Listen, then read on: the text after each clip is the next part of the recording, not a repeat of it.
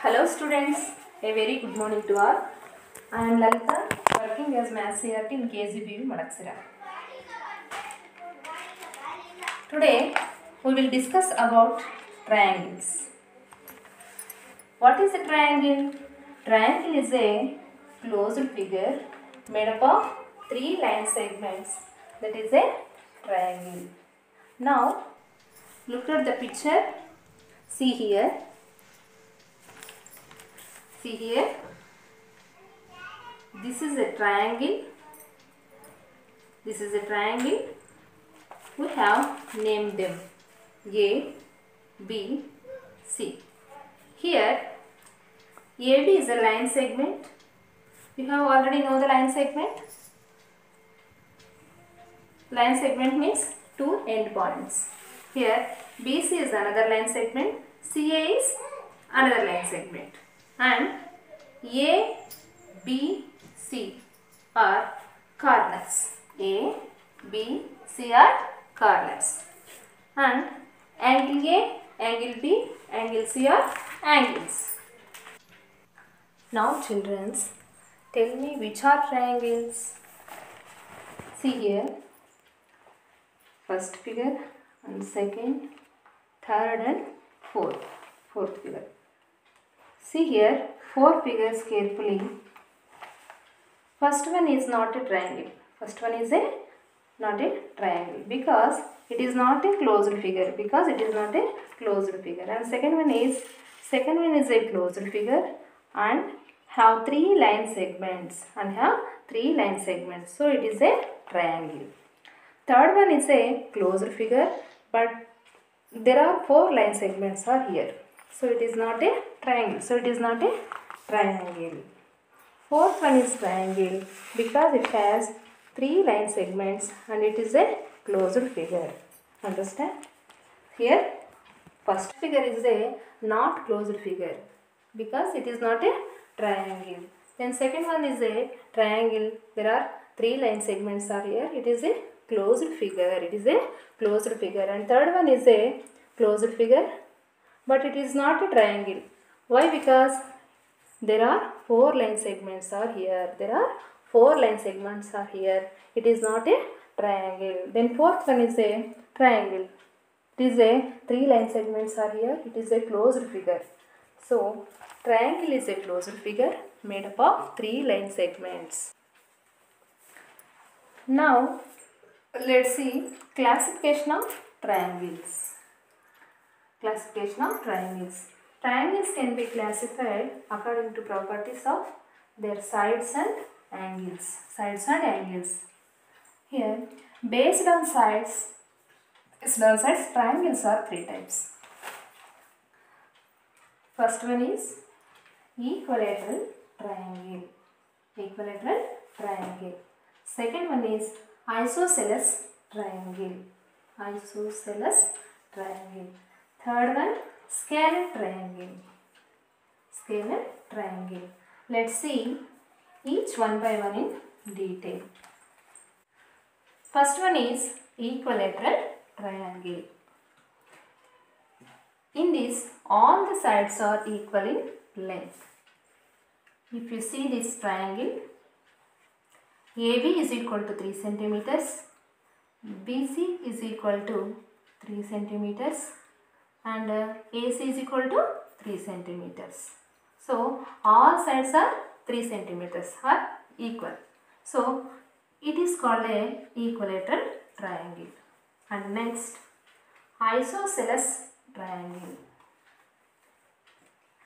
In this any two sides will be equal length. If you see this triangle, two sides are 6 centimeters in length and one side of 8 centimeter. So these type of triangles are called isosceles triangle. Then third one is scalene triangle. In this all three sides are different in length. If you see this triangle, each side is different in length. One is 6 centimeters and one is 8 centimeters and another is 10 centimeters. So these type of triangles are called scalene triangle. First one is equilateral triangle. Equilateral triangle means all sides are equal and second one is isosceles triangle. So here two sides are equal another side is different and third one is scalene triangle. So three sides are different. So we have seen classification of triangles based on sides. Now see based on angles. Okay. Based on angles there are three types. Acute angle triangle. First one is acute angle triangle. Second one is right angle triangle. Third one is obtuse angle triangle. First one is acute angle triangle. Second one is right angle triangle. Third one is obtuse angle triangle. So in acute angle triangle, all angles are acute. All angles are acute. Acute means below 90 degrees. Below 90 degrees, right?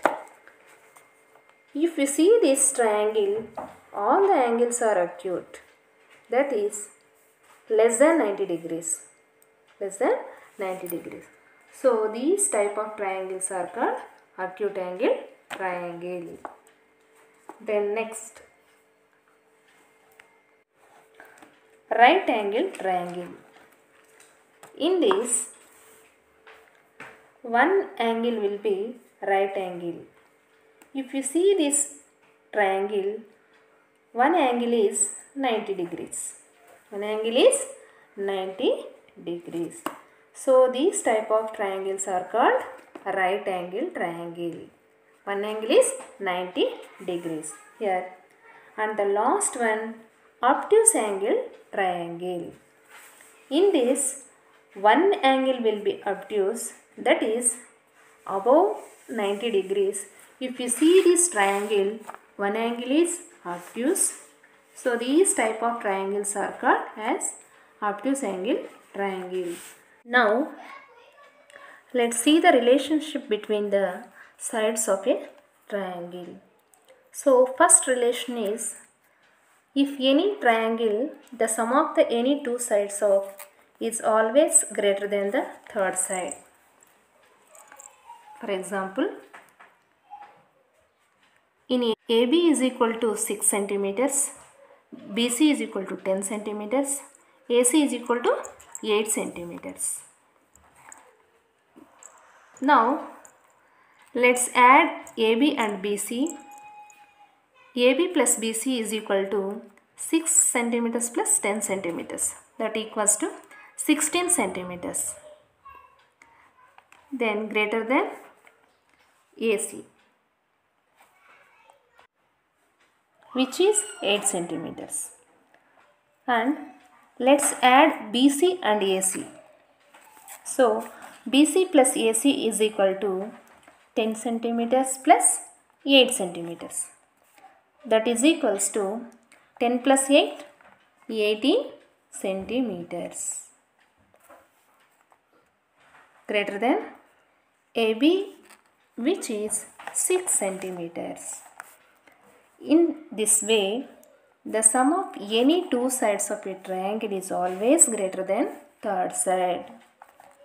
And we have another relation too that is the difference between any two sides of a triangle is always less than the third side. For example, in triangle ABC, AB is equal to 4 centimeters and BC is equal to 3 centimeters and AC is equal to 5 centimeters.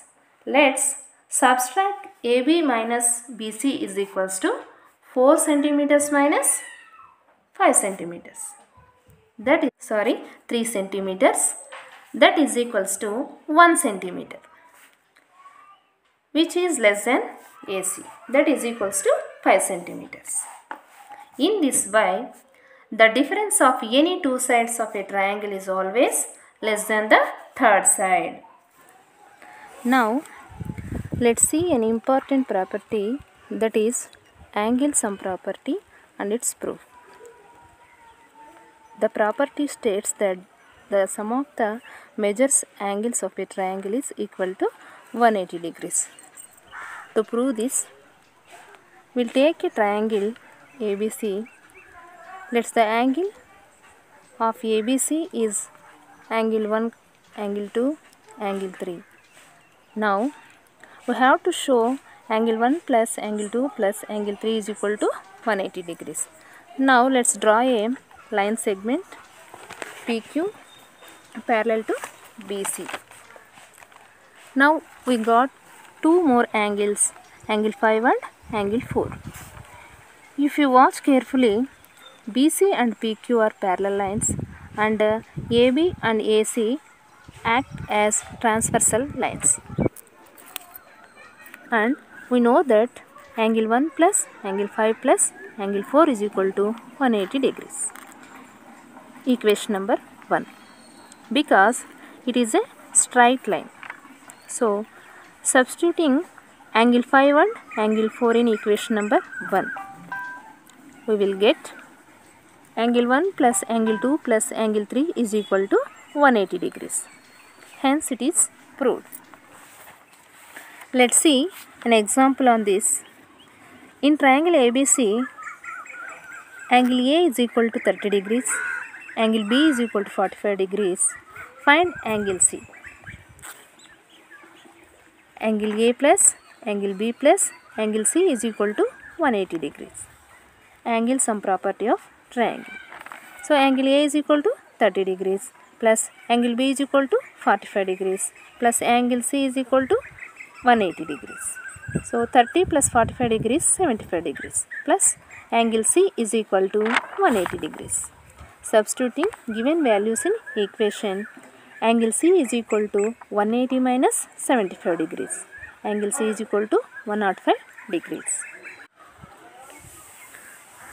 So up to now we have seen what is a triangle, classification of triangle based on sides and angles, relationship between the sides and the triangle, angle sum property and example. So let's stop here childrens. Please go through your textbook problems which are all related these properties only. Try to solve them. Let's discuss your doubts in next session. Thank you.